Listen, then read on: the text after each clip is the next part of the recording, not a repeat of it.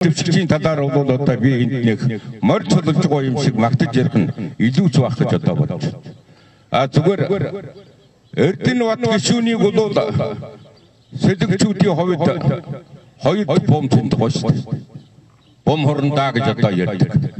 За тэгээд дараагаар нь гарч ирсэн нөхөр бол одоо Эрдэнэ бат байж одоо ингэж таарнаа. Тэгж одоо сэлгчүүд бодож явдаг байх гэж би мунхаглаж ингэж одоо явдаг.